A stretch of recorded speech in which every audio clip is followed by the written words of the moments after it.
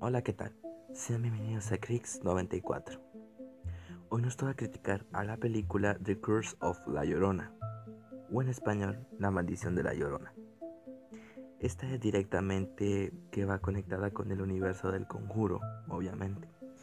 Y tengo que admitir que sí, la película tuvo muy malas críticas hace dos años. Y aquí veremos la razón del por qué. Spoiler, muchos spoilers.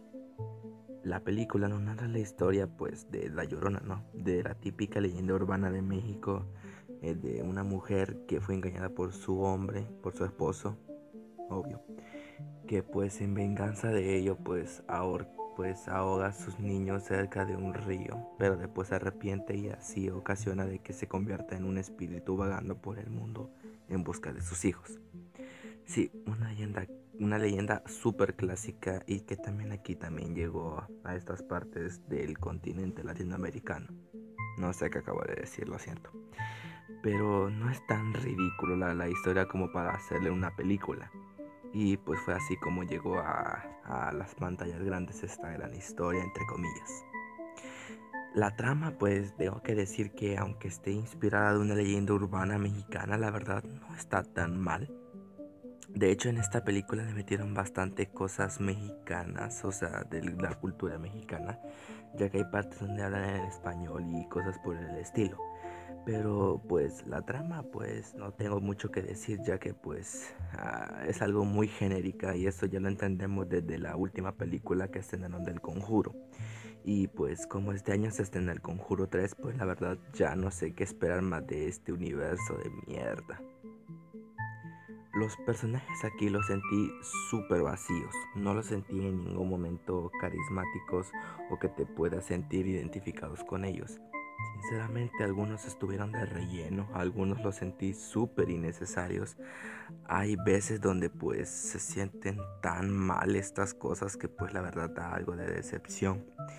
Y pues eso ya es mucho decir, o sea, la película de por sí ya es mala, o sea, los personajes son peores.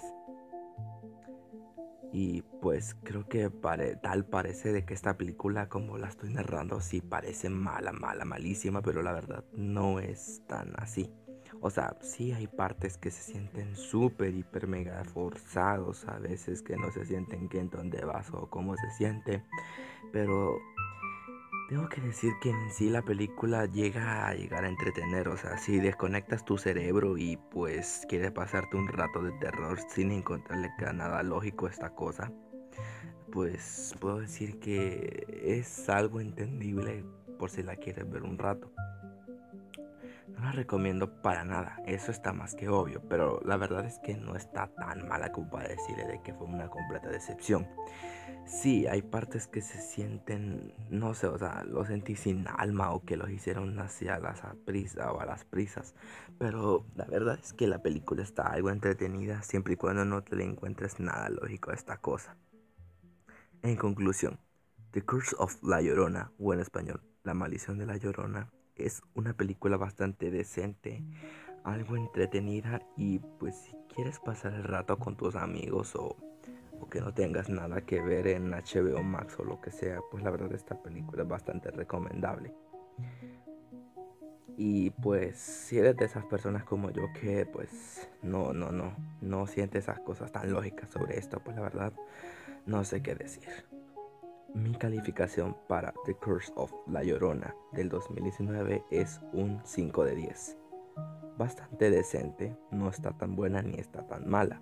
Está entre lo promedio de las típicas películas de terror. Y eso si tomamos en cuenta que ya de por sí el, el conjuro ya de por sí es una saga que va en horrible decadencia y eso ya lo vemos desde estas últimas películas. Bueno, eso es todo por hoy. Muchas gracias por ver el video. Recuerda suscribirte, seguirme en mis demás redes sociales. Nos vemos hasta la próxima.